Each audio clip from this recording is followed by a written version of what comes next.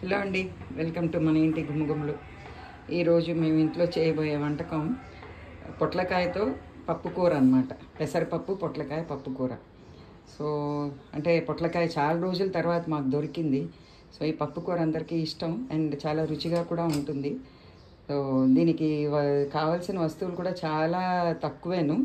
పొట్లకాయ పెసరపప్పు ఒక డెబ్భై ఐదు గ్రాములు తర్వాత ఏమో మిరపకాయలు మినప్పప్పు ఇంగువ. ఇవండి కావాల్సినవి. సో ప్రొసీజర్ ఏమిటో కనుక్కుందామా? అంతేగాండి ఇది కొంచెం కొంచెం నీళ్ళ స్నానం పెట్టేద్దాం. ఇది తరిగేసి రెండు కలిపి పెట్టేద్దాం. ఓకే. పెట్టేస్తే కొంచెం సో తరిగే లోపల అది కొంచెం నానుతుంది. పొట్లకాయ అయితే చాలా లేతగా ఉంది. ఒకవేళ గింజలు మరీ మోటుగా ఉంటే అవి తీసేయండి. లేకపోతే అంతా వాడియచ్చు. పొట్లకాయలు ఇలా ముక్కలుగా తరిగేసుకున్నాము. మీరు కావాలంటే చక్కెరలా తరుక్కోవచ్చు. అది మీకు ఎలా నచ్చితే అలాగా. తొందరగా ఉడికిపోతుందని ఇలా తరిగేసాం అనమాట ఉడకడం ప్రధానం. అదే. నేను తినడం ప్రధానం రుచి ప్రధానం. ఎలా తరుక్కున్నా పర్వాలేదు. ఇది నానబెట్టాను. రెండు కలిపి వేసేస్తాను. కొంచెం.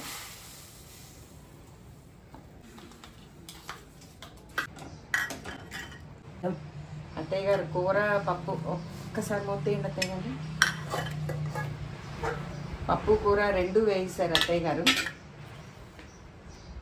సో కొంతసేపు ఒక రెండు మూడు నిమిషాలు ఉడికిన తర్వాత ఉప్పు వేసి మూత పెట్టచ్చు.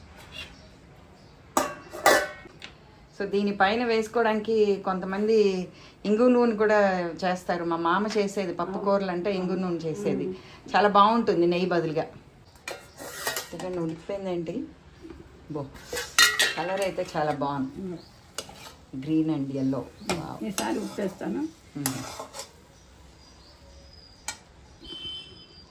ఏది ఉడకాలి కొంచెం? అంటే పప్పు ఉడకాలా ముక్క ఉడకాలా?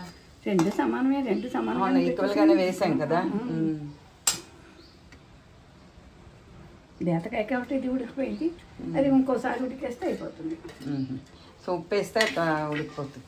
లేదు కాసేపు నాకు వెళ్దాం. కొంచెం ఏ అంటే ఇంకొంచెం పలుగ్గా ఉంది కదా. తినేవాడికి మంచిది బాగానే ఉంటుంది. కొంత కొంచెం అలవాటు ఉన్నవాడు ఇది మామూలుగా కుక్కర్లో కూడా పెట్టియచ్చు కదా? అదే ఇష్టమైన వాళ్ళు ఉండాలి. ఓకే. అంటే అది పప్పు కూరలా కాకుండా పప్పులా అయిపోతుంది. ఓకే. సో కొంచెం కొంచెం చూసుకుంటూ ఇది పప్పు కూర చెయ్యాలి ఓకే.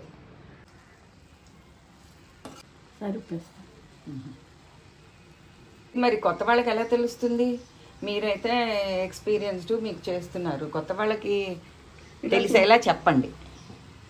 ఇలా అంటే ముక్క ముప్పా ఉడికిన తర్వాత పప్పు ముప్పా ఉడికిన తర్వాత ఉప్పు వేయాలి. ఉప్పు వేస్తే పప్పు ఉడకదు. పప్పులు ఉడకవు. సో ఆల్మోస్ట్ ఇంకా దింపేస్తామనగా ఉప్పు వేయాలి అంతే.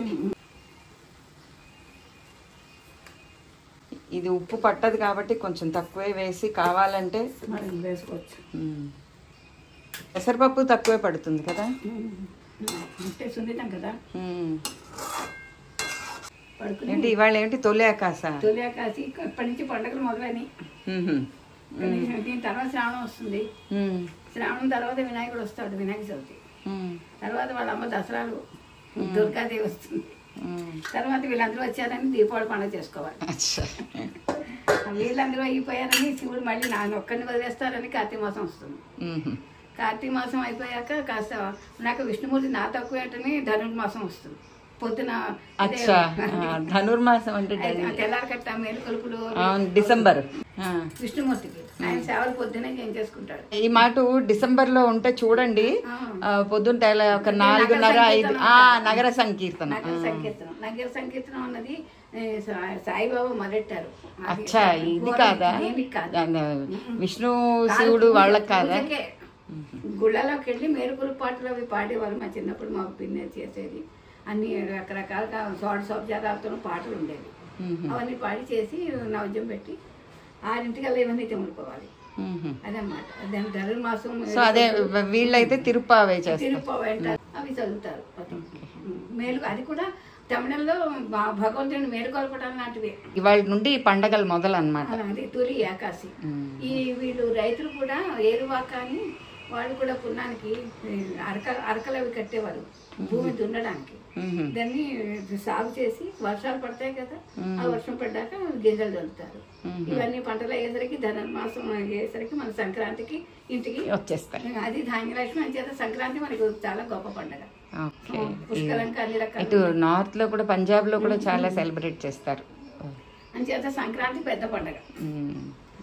అడుగంటకుండా. సో నాకైతే ఇది కుక్ అయింది అన్నట్టు ఎలా తెలుస్తుంది అంటే పొట్లకాయ ఉడికిన వాసన వస్తుంది. అందుకని పప్పు కూడా చూసుకుంటే సరిపోతుంది. ఇగో పప్పు నలిగిపోయింది ఓకే. మరి మరి మెత్తగా అయిపోకుండా సమానంగా మొళ్ళ పదులుగా ఉంది. దీన్ని మొళ్ళ పని అంటారు.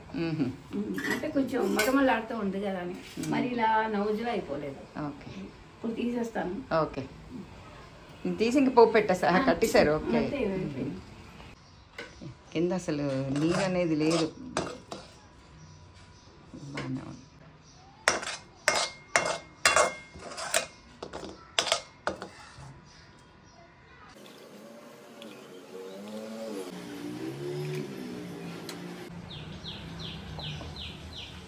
ఇంకా మినపప్పు? ఇంగువ. ఎండు మిరపకాయలు ఇంగువ. ఫస్ట్ ఏంటి ఇంగువ? ఉమ్. ఓకే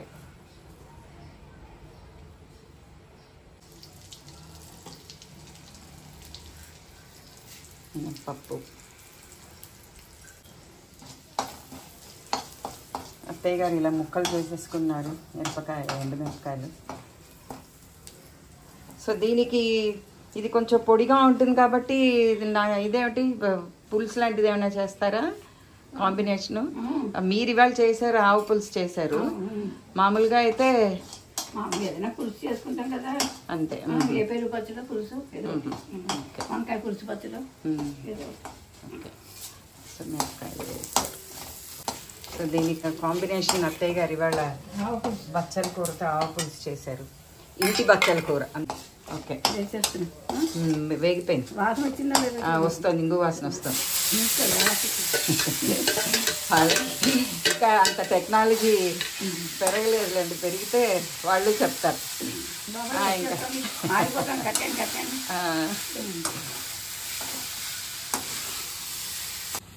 సో ఇదండి. పెసరపప్పు పొట్లకాయ పప్పు కూర. ఇంగు నూనె పైన వేసుకోవడం నా అలవాటు. అందుకని సో ఇది నా గురించి అన్నమాట. మీకు మీరు ట్రై చేయండి. చాలా బాగుంటుంది. ఇది నెయ్యి బదులుగా నూనె వేసుకుంటే.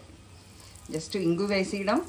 ఇది కొంచెం వేగిన తర్వాత ఎండుమిరపకాయలు మీకు నచ్చితే ఎండుమిరపకాయలు వేసుకోవడం.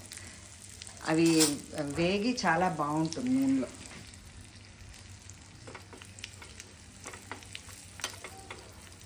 అయిపోయింది కట్టేసి. ఇప్పుడు ఈ ఎండుమిరపకాయలు వేస్తా. స్టవ్ కట్టేసి. ఆ వేడికి ఇది వేగిపోతుంది.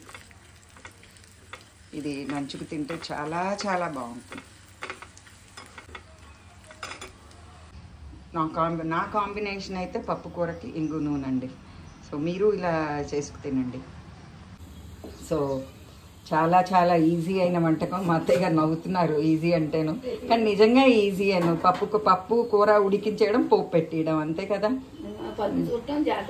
అదే అది తెలుస్తుంది. విత్ ఎక్స్పీరియన్స్ వచ్చేస్తుంది అత్తయ్య అండి కొత్త వాళ్ళకైతే కొంచెం ఒప్పుకుంటాను కష్టం. కానీ వాళ్ళకు కూడా ఇది ఈజీయే సో చాలా హెల్దీ ఫుడ్ అసలు ఫస్ట్ అర్థం చేసుకుంటే సో మీరు ఇలా చేసుకోండి. ఈట్ హెల్దీ స్టే హెల్దీ మళ్ళీ నెక్స్ట్ వీడియోలో కలుద్దామా?